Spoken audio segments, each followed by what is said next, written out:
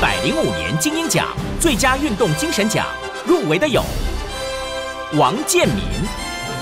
旅美好手王建民一直为国人关注焦点，尽管自二零一三年后因多次受伤遭遇低谷，仍不放弃重返大联盟登板的目标，持续努力复健调整，终于在今年初重回 MLB 殿堂。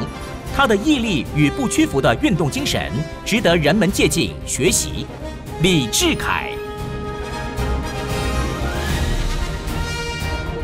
因为在刚好出去比赛之前有受了伤，其实那时候心里是蛮受挫的，对。但是我想去尝试看看，我不想放弃，对。然后就是最后还是能够上场去奋斗，去拼我的奥运梦这样子，其实是很开心的。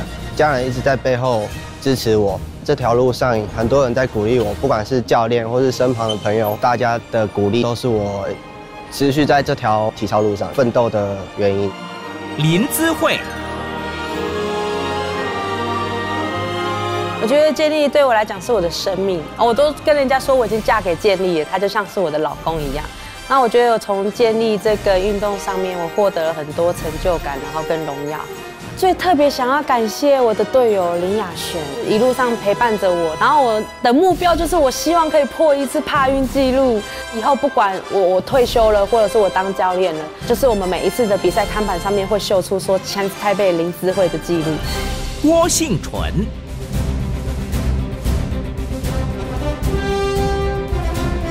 要比比亚运的时候，那时候才开始有一些心情上的起伏，跟一些就是会练习练到崩溃这样的情形出来。对，然后但是那时候我就觉得说，自己选择了这条路，然后自己也选择要坚持下去的话，那就要坚持到底。